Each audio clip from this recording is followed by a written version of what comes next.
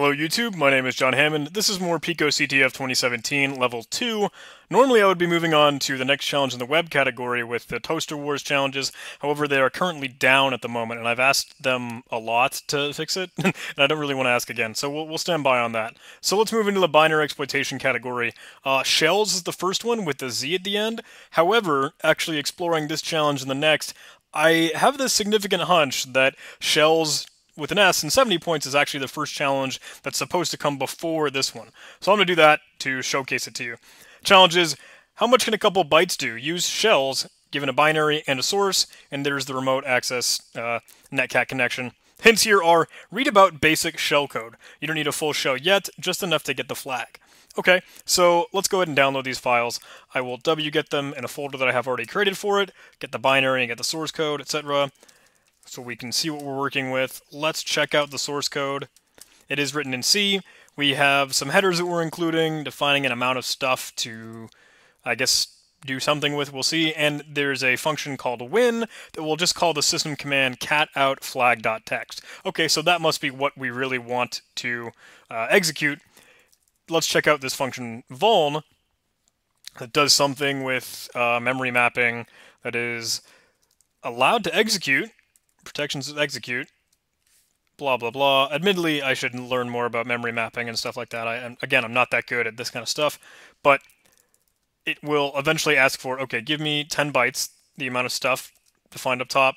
It will read in that amount. It'll determine if actually anything was returned. And it looks like it will go ahead and try and execute the stuff that it is returned so or, or, or read in. So it looks like it is able to just execute code and again with that memory map that is executable. So this is a peculiar thing that we sometimes see in CTF challenges and we'll see in binary exploitation vulnerability challenges, stuff like that, uh, where the stack or the amount of memory that this, these things are, are, are, stored is executable. Um, you'll see techniques called DEP or data execution prevention and NX um, that will try and mitigate that.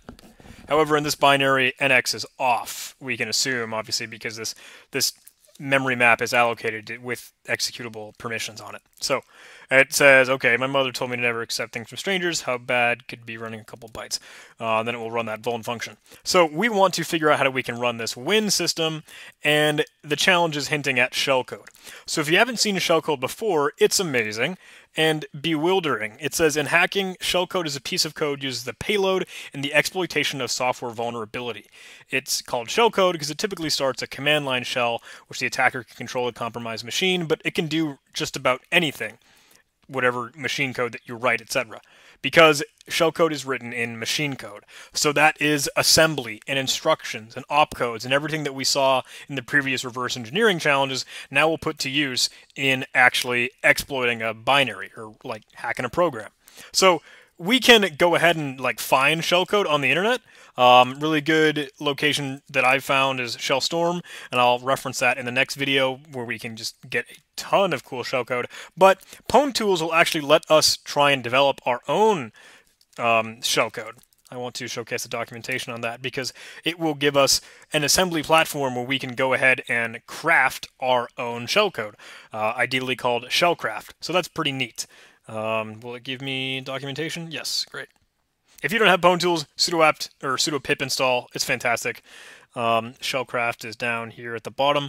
I hope to do a series on Shellcraft sometime soon, but it essentially breaks down submodules based off architecture.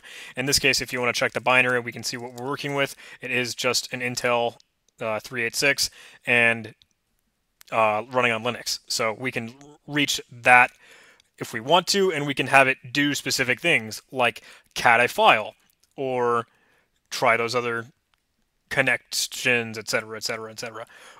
And we can do that all just fine, and we can all build it with an assembly function that will just, as a nice utility in Pwn Tools, go ahead and give us the assembly for that thing. It will assemble whatever code we write in assembly into real opcodes. So if we wanted to do something simple, like call a function, in that case win, that we saw in the source code, that's really what we want right now before we jump into trying to cat stuff and open up pop new shells.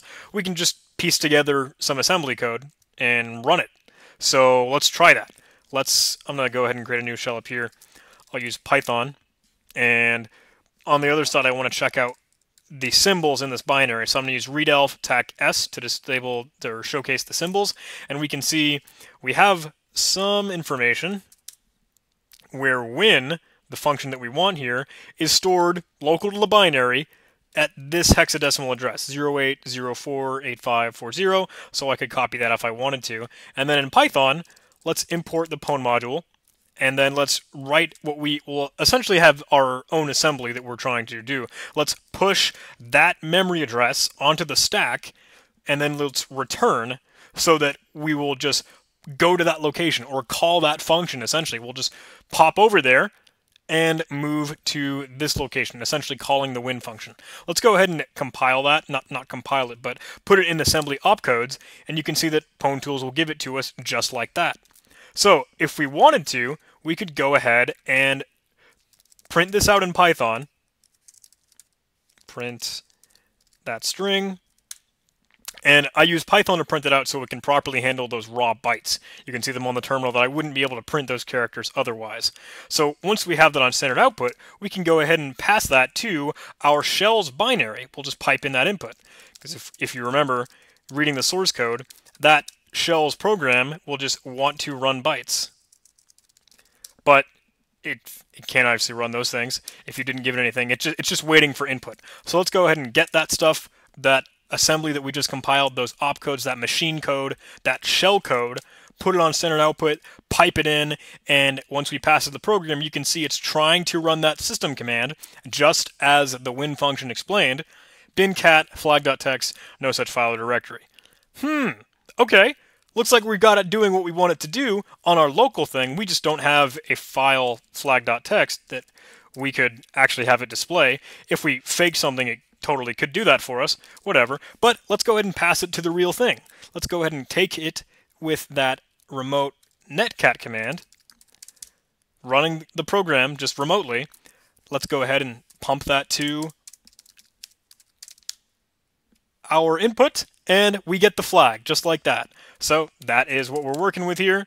We can, if we wanted to, tail that, get just the flag, write a simple get flag script for that, just throw it in a little binary or a bash script.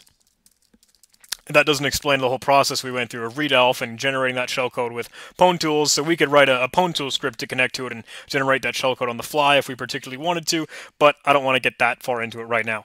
However, I hope that was good overview of our potential for shellcode and just showing how we can do what we want in assembly and bring that to opcodes by using the pwnTools library. So that is an awesome toolkit.